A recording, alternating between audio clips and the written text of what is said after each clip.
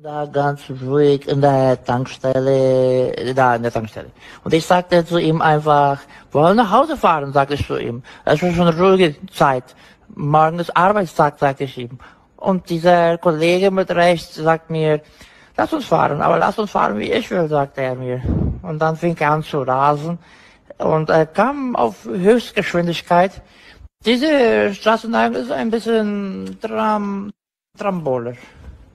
Du musst verstehen, rauf und runter zu fahren. Und er versuchte zwischen 60, zwischen 80 Kilometer pro Stunde zu bekommen und, und er flog. Und dann machte mich fliegen. Und ich flog von ihm, aber ich flog hier in den Busch. Und er flog, und er flog gegen die Wand und hat, ist da abgestürzt und hat sich fürchterlich verletzt. Und sein Motorrad hat sich komplett zerstört. Und mir, Gott sei Dank, äh, geht's gut. Und er ist da, ich weiß nicht genau wie, aber ich hoffe, ihm geht's bald besser.